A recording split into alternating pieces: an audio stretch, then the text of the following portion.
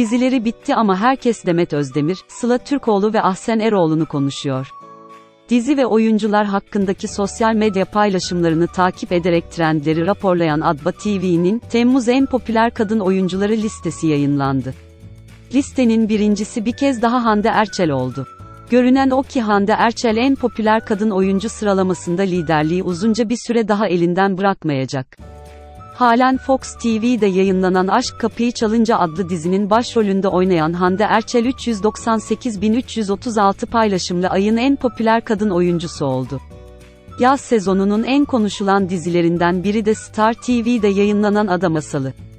Dizinin başrol kadın oyuncusu Ayça Ayşin Turan da rol arkadaşı Alp Navruz'la müthiş bir uyum yakaladı ve yaz aylarının en çok konuşulan çifti haline geldi.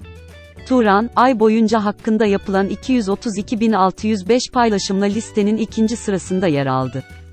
Listenin ilginç yanı ise dizileri sona ermesine ve herhangi bir yapımda rol almamalarına rağmen hala gündemde olan kadın oyuncular. Yemin dizisinin başrol oyuncusu Sıla Türkoğlu, menajerimi Aran'ın Diclesi Ahsen Eroğlu, rol aldığı Doğduğun Ev Kaderindir dizisi uzun süre önce sona eren Demet Özdemir. Üç ünlü oyuncu da sosyal medyada en çok konuşulan isimler arasında bulunuyor. Listenin dikkat çekici bir yanı da Kanal D dizisi Baht oyununun başrol oyuncusu Cemre Baysel'in 5. sırada yer alması. Bu sezonun dizilerinden Aşk Mantık İntikam'ın başrol oyuncusu Burcu Özberk ile baş belasının İpeği İrem Helvacıoğlu da listenin bir hayli gerisinde kaldı.